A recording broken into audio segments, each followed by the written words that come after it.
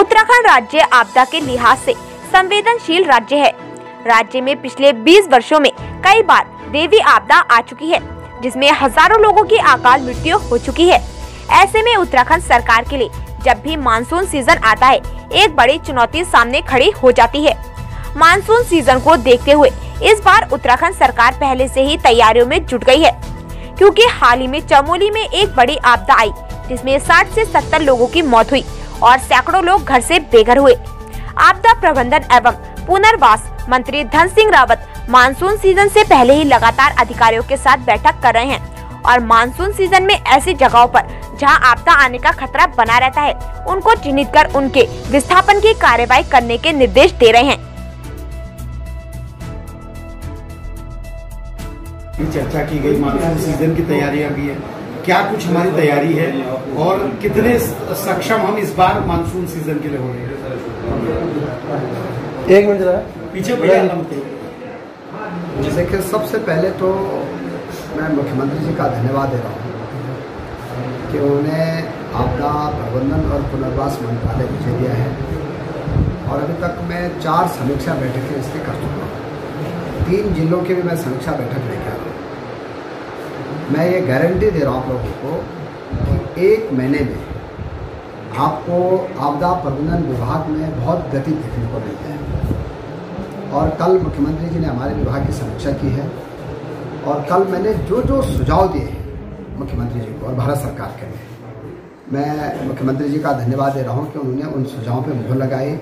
हमें चाह रहे हैं कि एक शोध संस्थान आपदा का हमारे राज्य में ये हमने पहला प्रयास कर दूसरा हमारा प्रयास ये है कि हम आपदा के लिए दो एयर एंबुलेंस लाने के लिए भारत सरकार को प्रस्ताव दे रहे हैं कि हम जब भी कभी आपदा आती है तो लोगों को जिला हेडक्वार्टर तक लाना या एम्स तक लाना या दिल्ली रेफर करना, जब हम पे एयर एंबुलेंस रहेगी, तभी हम इस काम को जल्दी कर पाएँगे। तीसरा बड़ा काम हमें कर रहे हैं कि अपने राज्य के जितने विश्वविद्यालय हैं और जितने हमारे डिग्री कॉलेज हैं, जितने हमारे उच्च शिक्षा के केंद्र हैं, यहाँ पे हम सर्टिफिकेशन कोर्स भी चलाएँगे और एक ऐच्छिक विषय रखेंगे हम आपदा प्रबंधन छः महीने का सर्टिफिकेशन कोर्स भी होगा और पीजी में एक साल का डिप्लोमा कोर्स भी होगा। इस पर भी हमारी सहमति होगी।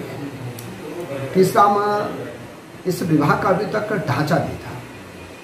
कल हमने ढांचे की बैठक कर दी है और अगली कैबिनेट में इस विभाग का ढांचा बन के तैयार हो जाएगा। मैं कह सकता हूँ कि एक बहुत अच्छा ढांचा हम इसका बनाने वाले हैं। चौथा यह है कि जो हम एक लाख लोगों को आपदा प्रबंधन का प्रशिक्षण देने वाले हैं। चाहे महिला मंगल दल हो, युवक मंगल दल हो, हमारे डिग्री कॉलेज के छात्र हों, हमारे टैक्सी ड्राइवर हों, हमारे पटवारी हों, और बाईस हज़ार जो राज मिस्त्री हमारे राज्य में हैं, जो कि आपदा विरोधी पहले वो बनाते थे क्या? भवन बनाते थे। जो हमारी शैली थी पर्वतीय क्षेत्र की उस शैली के जितने भी राजमिस्त्री हैं, उनका भी हम प्रशिक्षण करने वाले हैं और उनको एक किट भी देने वाले हैं आपदा के। वैसे हम महिला मंगल दलों को भी, युवक मंगल दलों को भी किट देने वाले हैं। और 25 अप्रैल से लेकर 15 मई के बीच में एक राष्ट्रीय सम्मेलन में आपदा पे देहरादून में करने वाला हूँ। इसमें हमें सोच रहे हैं कि गृह मंत्रालय से कोई ना कोई मंत्री जो है उस जो है उद्घाटन सत्र में रहे, मुख्यमंत्री जी उसका उद्घाटन करेंगे और एक एक्सपर्ट लोगों को हम उसमें बुलाएँगे। जो हमारी तपोवन की घटना हुई, उसमें भी कल हमने दो टीमें वहाँ भेजी पहली टीम है भारत सरकार और उसमें कई एक्सपर्ट डालेंगे पहली टीम ये अध्ययन करेगी कि भाई आपदा कैसे है। और दूसरी टीम ये अध्ययन करेगी कि आपदा के बाद अब हम को बचाव के और क्या क्या अस्थायी काम करने अस्थायी काम तो हो गए हैं, जितने भी अस्थायी काम होने थे। लेकिन अस्थायी वहाँ के लिए क्या क्या हो सकता है, ये इसका अध्ययन करके जाएगी। और उनको हमने टारगेट दिया है दस दिन का। तो दस दिन में पूरी रिपोर्ट सरकार को भारत सरकार को सौंपेंगे। और मैं कह सकता हूँ कि आपदा विभाग में आ, पूरे राज्य के जो भी लोग इनसे जुड़े हैं उनके सुझाव भी ले जाएँगे। और राज्य के बाहर जैसे हमारा उड़ीसा साइक्लोन आया। गुजरात कच्छ का जो है आपदा आई इनके भी अध्ययन के लिए भी हम एक अध्ययन दल बना रहे हैं कि वो दूसरे राज्यों का भी अध्ययन करके आए और एक बड़ा काम हम आपदा में कर रहे हैं कि एक एक्सपर्ट टीम बना रहे हैं जो कि ग्लेशियरों पे अध्ययन करेगी कि और भारत सरकार को राज्य सरकार को उसकी रिपोर्ट मंत्री जी पुनर्वास के साथ साथ आपदा प्रभावित इलाकों में आपदा से बचाव के लिए लगातार कामकाज किया जा रहा है। और ऐसी जगहों पर स्थानीय लोगों को प्रशिक्षण भी दिया जा रहा है। ताकि यदि किसी तरह की देवी आपदा आए तो सरकारी मदद पहुँचाने से पहले स्थानीय लोग अपने आसपास के लोगों की मदद कर सके और ज़्यादा नुकसान होने से बचा जा सके।